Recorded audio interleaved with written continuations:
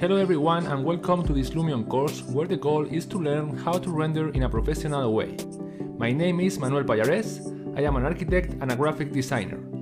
I am a specialist in modeling and rendering architectural projects and through this course I will try to transmit all my knowledge in an entertaining and fun way. The course will take as a starting point the iconic Barcelona pavilion designed by Mies van der Rohe.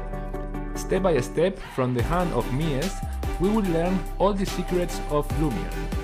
From material editing, object libraries, landscape to time settings.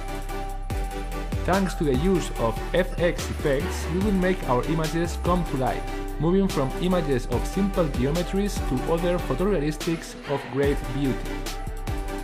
We will continue learning to make animated films where new and important effects will enter the scene, as well as other key elements, such as the correct use of keyframes that will allow us to exploit our creativity.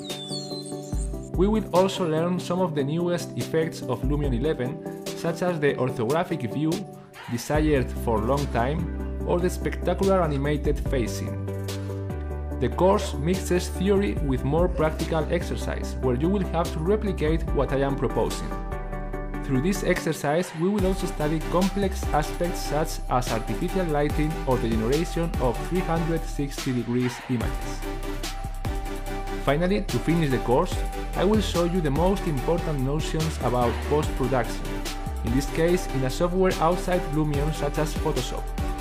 As a final exercise to demonstrate everything you have learned, you will have to make an interior render, an exterior render and 1 minute length animation, all from two attached models. I hope you will like the course very much and that you will learn to the fullest.